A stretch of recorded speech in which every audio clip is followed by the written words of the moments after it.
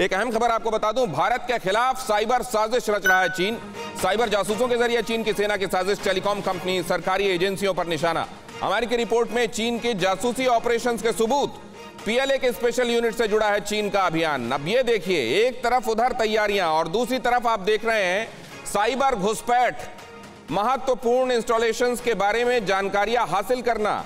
और इस तरह की घुसपैठ करके, साइबर अटैक करके कई जगहों पर जहाँ सिस्टम कोलैप्स करके पंगु बनाया जा सकता है, वहाँ पंगु बनाना, जहाँ जानकारियाँ एकत्रित की जा सकती हैं, वहाँ जानकारियाँ इकट्ठा करने का कोई रास्ता नहीं छोड़ना संजय कुलकर्णी साहब।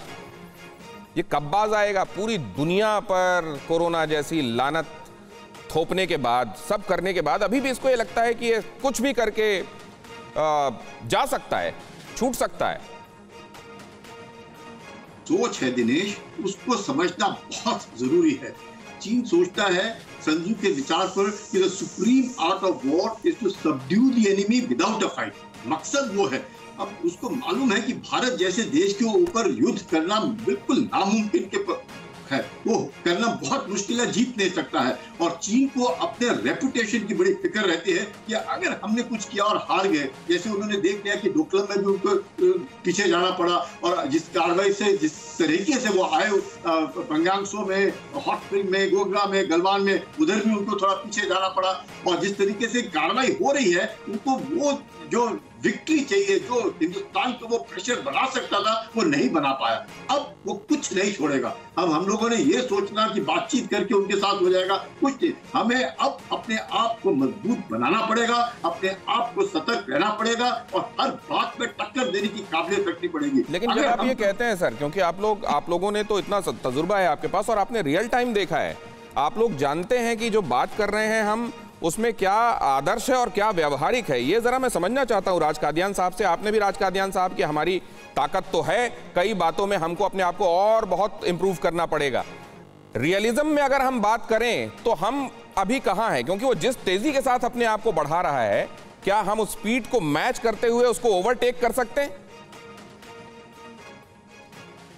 दिनेश कन्वेंशनल वारफेयर की अगर हम बात करें तो हम बिल्कुल चीन के बराबर हैं। कोई कमी नहीं है, हमारे हौसले में कमी नहीं है, साधनों में कमी नहीं है। लेकिन अगर हम आजकल जो चीन जुटा हुआ है, जिसमें स्पेस वारफेयर है साइबर वारफेयर है इलेक्ट्रोमैग्नेटिव वारफेयर है तो एल्गोरिथम का इस्तेमाल करेगा, वो चीन हमसे आगे, हम तो अभी अभी भी फोर जी के बारे में सोच रहे हैं। चाइना ने बॉर्डर के आखिरी पॉइंट तक फाइव जी का साइबर ऑप्टिक्स पहले इंस्टॉल कर चुका है। तो उस मामले में अगर हम तुलना करें तो हम काफ़ी पीछे और आजकल वो करेगा भी वही। वो ग्राउंड की मुठभेड़ नहीं भारत का मुकाबला करेगा ना कर सकता है। Right. लेकिन वो हमारे सिस्टम को ब्लाइंड करेगा वो इनको डिसेबल करेगा और फिर डिस्ट्रॉय करेगा। अगर हमारे कमांडर्स की कम्युनिकेशन प्रूफ तक नहीं पहुंचेगी तो आप समझ सकते हैं कितनी कंफ्यूजन रहेगी। Right. तो उस हिसाब से हमको उस तरफ़ ज़्यादा तवज्जो देनी है। आजकल लड़ाई सिर्फ़ ज़मीन पर नहीं होगी। दूसरा आपने हेलमेट टॉप की बात की। देखिए किसी भी निर्णय को लेने के बाद में जब हम पीछे मुड़ के देखते हैं तो गलतियाँ नज़र आती हैं। मिलिट्री माइंड के बतौर मैं भी सोचता हूँ कि हमें टेक्टिकल जो हमको एडवांटेज था उस पहाड़ी कैलाश रेंज का वो नहीं देना चाहिए था। लेकिन उस वक्त ग्राउंड हालात क्या थी? उम्मीद थी कि चाइना इसको मान जाएगा। सितंबर में दोनों फॉरेन मिनिस्टर की बात की हो गई थी कि हम पूरा डिसंगेज करेंगे। अब उसने नहीं किया वो तो चुरा घोपने वाली बहुत महत्वपूर्ण बात आप कह रहे हैं राज कादियान साहब। रियल टाइम डिसीज़न मेकिंग करनी पड़ती है उस समय की तात्कालिक परिस्थितियों को ध्यान में रखते हुए। रेट्रोस्पेक्टिव जब आप देखते हैं तो बहुत सारी नुकताचीनी की जा सकती है। ये बहुत महत्वपूर्ण बात आपने कही। फ़िक्र आपकी। सोमवार से शुक्रवार, रात नौ बजे, सिर्फ़ टीवी नाइन भारत वर्ष पर।